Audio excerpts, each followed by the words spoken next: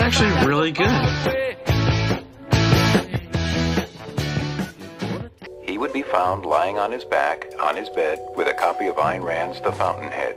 Ooh, the Fountainhead. What's taking so long? Pick up the Fountainhead and pretend you're reading.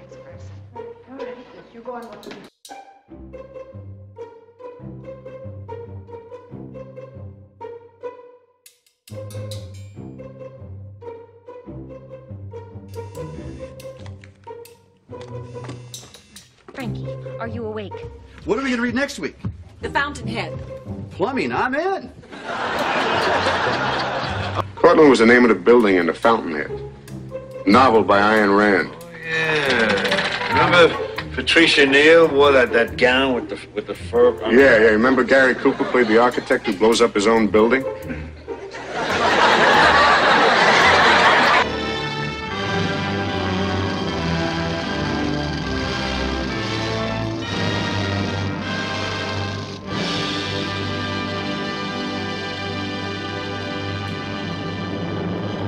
Read it.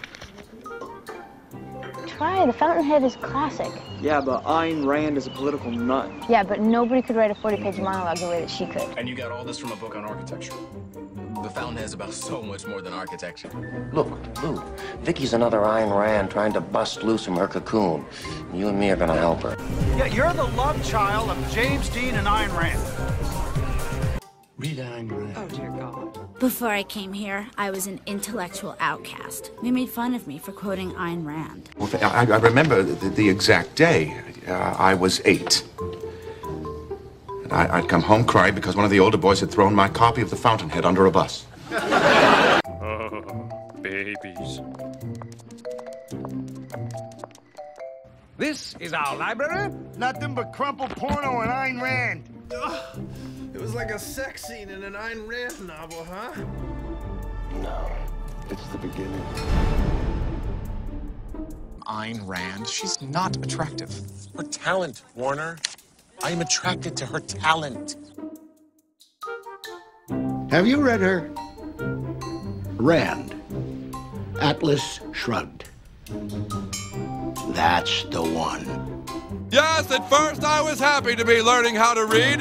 It seemed exciting and magical. But then I read this Atlas Shrugged by Ayn Rand. What did it say? It said, Who is John Galt? It's an Ayn Rand quote.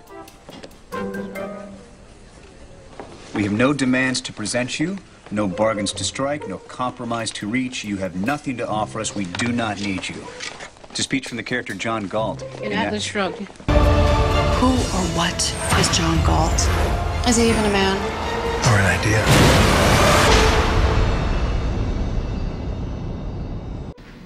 Atlas shrugged. Yeah, you read it? Nah, it's good.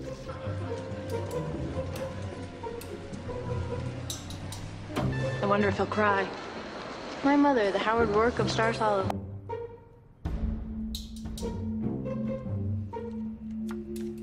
Where'd you get this? IQ of 155. Goes to jail a small time thief. Self educates on Nietzsche, Ayn Rand, Charles Manson.